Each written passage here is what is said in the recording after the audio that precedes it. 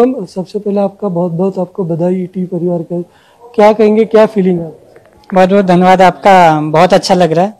परिवार वाले दोस्त सारे लोग काफ़ी खुश हैं। किस तरीके से आपकी जर्नी शुरुआत हुई? बिहार में कहाँ से हो? आपके घर वाले क्या करते क्या कहेंगे? आ, मैं कुमरी गाँव कटिहार डिस्ट्रिक्ट बिहार का निवासी हूँ। एंड मेरे घर पे पापा मम्मी चाचा चाची हैं। एंड मैंने अपना ग्रेजुएशन आईटी बॉम्बे से किया 2014 से 2018 फिर 2018 से मैंने तैयारी स्टार्ट की। दिल्ली में एक, एक, एक से दो साल रहा। और लास्ट ईयर मैं इंडियन डिफेंस अकाउंट सर्विस में मेरा सिलेक्शन हुआ और आ, मैं अभी पुणे में ट्रेनिंग चल रही है। आपके माता पिता क्या करते हैं? आज आपने किस तरीके से शुरुआत की? आपको कब लगा कि मुझे नहीं तैयारी करना चाहिए? आ, मेरे पापा बैंक मैनेजर हैं उत्तर बिहार ग्रामीण बैंक में। आ, मम्मी होम मेकर है घर पे ही रहती हैं। बचपन से एक सपना था और फिर जब मैं फाइनल ईयर में आईटी बॉम्बे में था वहाँ पे एक इंस्पिरेशन मिला कि आ, मैं यूपीएससी ज्वाइन करूँ और लोगों के लिए काम करूँ। चौबीस साल का एक लड़का यूपीएससी में पहला आ रहा है ये और वो भी बिहार में बिहार में इससे पहले कभी इस तरीके से हुआ नहीं है। क्या कहेंगे कि जब आपको पता चला कि नहीं मैं फ़र्स्ट रैंक आया आप बहुत अच्छा लग रहा है एंड आई विश कि और भी लोग इन एग्ज़ाम को निकाले और एक बिहार से भी जो भी लोग हैं उनको एक पॉजिटिव इंस्पिरेशन मिले। और क्या कहेंगे कि आपको आगे जाके यानी क्या करना है अभी? आई uh, थिंक ये बस एक शुरुआत है। जो भी मुझे पोजीशंस एंड रिस्पॉन्सिबिलिटी मिलेगी मैं उस पर वर्क करना चाहूँगा। एंड स्पेशली अगर मुझे मुझे रूरल डेवलपमेंट और अपलिफ्टमेंट के लिए काम करने का मौका मिलेगा तो वो uh, मेरे लिए सौभाग्यशाली होगा। हमने देखा है कि आपको काफ़ी देश भर से आपके दोस्त लोग सब लोग शुभकामनाएँ दे रहे हैं। बिहार के सीएम ने भी ट्वीट किया है आपको। क्या कहेंगे उसके बारे में? I am very lucky and I am very thankful to everyone ध्यान से सुनिएगा डॉक्टर रंजीत कुमार सिंह हमारे साथ जुड़ चुके हैं। थोड़ा लेट आए लेकिन कोई दिक्कत नहीं है। दो तीन मिनट ही सही डॉक्टर रंजीत को हम सुनते हैं। डॉक्टर रंजीत बहुत अरसे बाद ऐसा लम्हा आया है जहाँ आँसू निकल भी रहे हैं खुशी के आँसू हैं और आप तस्वीरों को भी देख सकते हैं। हम आपकी आपका रिएक्शन चाहते हैं और आगे की योजनाओं के बारे में भी आपसे हम पूछेंगे। विवेक जी निश्चित रूप से मैंने 2010 में मैंने स्टार्ट किया था मिशन 50 जिसमें कि 50 बच्चों को निःशुल्क रूप से हमने ऑनलाइन और ऑफलाइन स्टडी शुरू करवाया था। जब जब बाद में संतोष आया तो 2014 से संतोष भी हमारे टीम मेंबर्स ही हैं। संजोग से ऐसा हुआ कि एन वाले सब एक साथ आज आ गए हैं तो हम्म। मैं ही इसका मेंबर हूँ। और 2010 के बाद 2014 से संतोष उसको बहुत आगे लेके गए और उसके बाद रिज़ल्ट जो है देखने को मिला हम्म। लेकिन ये ज़रूर है कि 2008-10 में जो रिज़ल्ट बिहार का था और जिसमें कि हम लोग पूरे न्यूज़पेपर और सभी मीडिया में हम लोग ये देखते थे सोशल मीडिया इलेक्ट्रॉनिक मीडिया में कि बिहार के लाल ने किया कमाल जैसे मेरा भी आया था जी जी। उसके बाद पहली बार जो है पूरे आठ दस साल के बाद सब समझिए कि इतनी बड़े संख्या में रिज़ल्ट बिहार से हुआ है हम्म, हम्म।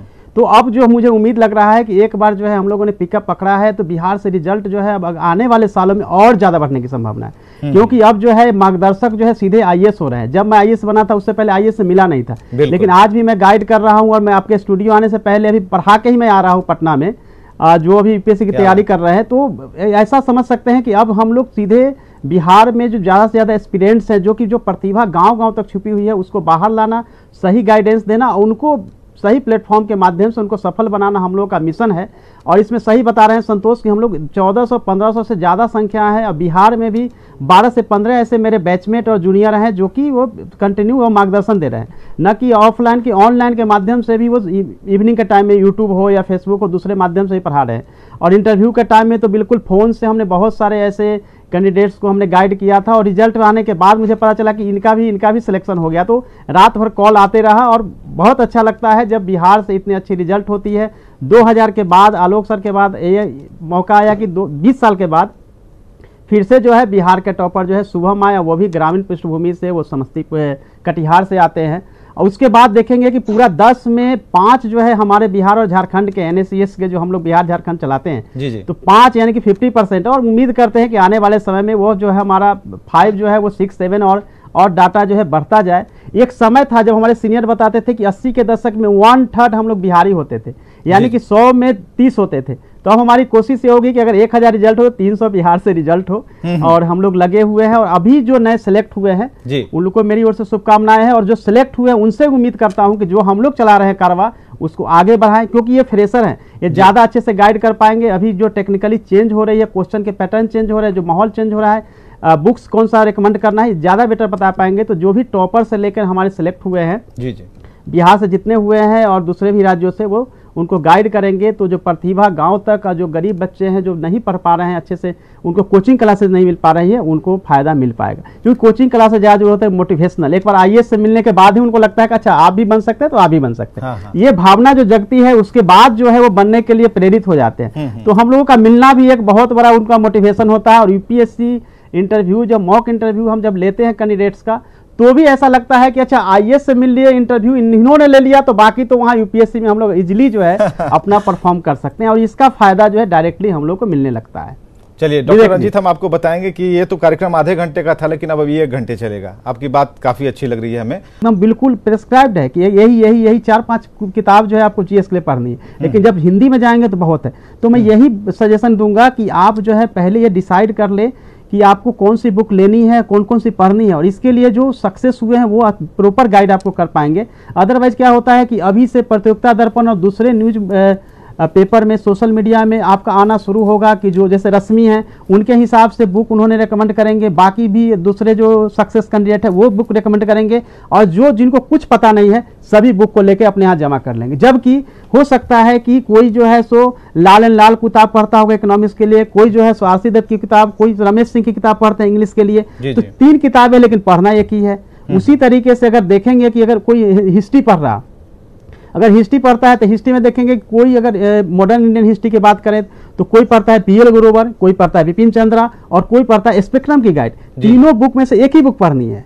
जबकि वो तीनों बुक को पढ़ते हैं और टाइम किल होता है याद भी नहीं होता रिविजन का प्रोसेस जो करना है थ्री टाइम्स उनको रिविजन करना है मॉर्निंग पढ़े तो नाइट में फिर रिविजन करना है नेक्स्ट डे जब पढ़ना है तो कल जो हमने पढ़ा है उसका रिविजन करना है पूरे मंथ में पढ़े गए चीज़ों को लास्ट वीक में फिर से रिवीजन करना है और पढ़ने का जो प्रोसेस है कि आप स्टडी करें थिंकिंग करें और राइटिंग करें। यानी कि अध्ययन करें, चिंतन करे और लेखन करे। यह प्रोसेस भी आपको अपनाना पड़ेगा, तब जाके जो है आपका कॉन्फिडेंस भी आएगा और सही डायरेक्शन में आप तैयारी कर पाएँगे। अगर इस प्रोसेस को कोई भी कैंडिडेट अपनाता है कि चिंतन पहले स्टडी करे चिंतन करे और लेखन करे तो दुनिया का कोई भी एग्ज़ाम पास कर सकता है। यानी कि सबसे टफेस्ट एग्ज़ाम अगर हो सकता है वर्ल्ड का तो यूपीएससी ही है जिसको कि क्रैक कर सकते हैं। और हम लोग हमेशा बोलते हैं कि तीन से चार परसेंट अगर अपने ब्रेन का यूज़ करेंगे तो आप आई बन जाएँगे। जैसे आइंस्टाइन ने सत्रह परसेंट यूज़ किया और उसने सापेक्षता का सिद्धांत दिया था। और बीपीएससी पास करने के लिए तो एक परसेंट भी यूज़ करेंगे तो भी हो सकता है। यानी कि ब्रेन का केवल फोर फाइव परसेंट यूज़ करने से ही हो जाएगा। लेकिन इसके लिए ज़रूरी है कि आपको दिन रात सपने में सोचना पड़ेगा। हम्म। खाते उठते बैठते पढ़ना पड़ेगा। हमेशा वन जैसे घोड़े का दोनों तरफ़ से घेर देते हैं और हमेशा लक्ष्य जो है आई होता है उसी पे फोकस करना पड़ेगा। और हमेशा अपने स्टडी रूम में आई एस आई एस चारों तरफ़ लिख के रखते थे। इवन कि वॉशरूम तक हम लोग आई एस लिख के रखते थे। पॉकेट डायरी होनी चाहिए जिसको कि हमें जब याद हो याद कर सकते हैं। यानी याद करने का भी तरीका हो क्योंकि मैक्सिमम स्टूडेंट हमारे बिहार के बोलेंगे कि हमको याद ही नहीं होता है। और याद नहीं होता है तो कुछ कुछ मेडिसिन वगैरह जो है लेना शुरू करते हैं। बट याद करने का तरीका है कि रिविजन करेंगे रिट्राइवल करेंगे क्वेश्चन करेंगे किताब से खुद से। किताब में ही जितना रंग रोगन करेंगे मैप बनाएँगे डायग्राम बनाएँगे उसको स्कैन करेंगे। जितना ज़्यादा वो पेज को पलटेंगे और जितना ज़्यादा उस पर कलरफुल उसको बनाएँगे उतना ज़्यादा याद होते चला जाएगा। और जितना ज़्यादा रिविजन करेंगे सब कुछ याद होगा कंफ्यूजन का कहीं कोई चांस नहीं रहेगा। तो क्वेश्चन अटेम्प्ट जो करेंगे वो बहुत प्रॉपर हो पाएगा। तो ये सब तरीके हैं जिसके माध्यम से जो अभी हमें देख रहे हैं सभी यूथ यूथ जो बिहार के हैं झारखंड के जी, जी। वो इस प्रोसेस को अपनाएँ। इस प्रोसेस को अपनाइए और लाइफ में सफल हो जाइए। दो साल पढ़िएगा। लाइफ आपका पूरा 80 से 100 साल आपका बिल्कुल हर दिन जो है उत्साहपूर्ण हो सकता है। तो दो ही साल तो पढ़ना है यूपीएससी के लिए। दो साल मैक्सिमम अगर अच्छे लेवल तक पहुँच गए तो एक साल। कई कैंडिडेट्स होता है कि लास्ट में फिनिशिंग टच देने से पहले उनकी तैयारी 90 परसेंट हो गई होती है। लेकिन वो बिल्कुल निराश हो जाते हैं हताश हो जाते हैं छोड़ देते हैं। जबकि फिनिशिंग टच देने के लिए उनको पाँच से सात परसेंट भी केवल तैयारी करनी है। एवरेज से थोड़ा ही बेटर करना है। बहुत ज़्यादा करने की ज़रूरत नहीं। तो एवरेज से थोड़ा बेटर करेंगे आप सक्सेस करेंगे। आज शुभम जो है टॉपर है क्योंकि उन्होंने बाकी जो कैंडिडेट्स है उससे सबसे बेटर उन्होंने किया है। तो हमारी तैयारी जो है बिल्कुल उत्साहपूर्वक अच्छे से होनी चाहिए माहौल अच्छा होना चाहिए कहीं से स्टडी हो सकती है कहीं से रिज़ल्ट हो सकता है। अभी जितने बैठे हुए हैं मैक्सिमम जो है सभी के सभी रूरल बैकग्राउंड से हैं। कहीं कोई कोई किन्हीं का फैमिली बैकग्राउंड भी ऐसा नहीं है कि कुछ देखा जा सकता है। कोई भी रिज़ल्ट हो सकता है। केवल और केवल हमको ध्यान रखना है कि जिस तरह द्रोणाचार्य को ने एकलव्य को अपना शिष्य बनाने से रोक दिया था तो उन्होंने उसका स्टैचू बना के यानी कि एकलव्य बिना गुरु का भी वह जो है सो अर्जुन से बड़ा धनुर्धर साबित हुआ था। यानी कि अगर हमारे अंदर में जुनून है कि हमको कुछ करना है और करने की क्षमता है और हम करने के लिए जुनून के हद तक जा सकते हैं पूरी कायनात उसमें मदद करती है और कोई भी व्यक्ति आई बन सकता है। आज से शुरुआत कायनात का और कायनात का जो नाम है जिस कायनात की बात कर रहे हैं उसमें अब डॉक्टर रंजीत कुमार सिंह हैं।